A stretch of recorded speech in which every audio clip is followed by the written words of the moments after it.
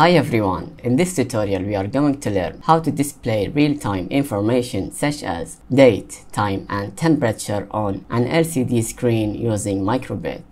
For this project we will need Rekabit with microbit, Grove Wi-Fi 8266, 3V LCD.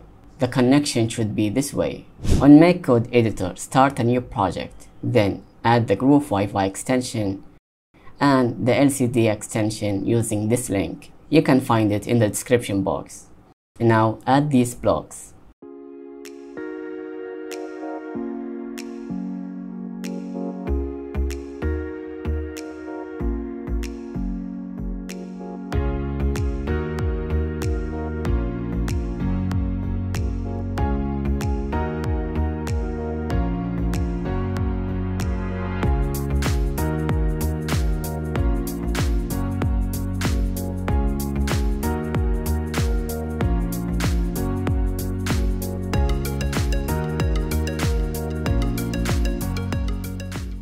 Here, type in the name and password of your Wi-Fi.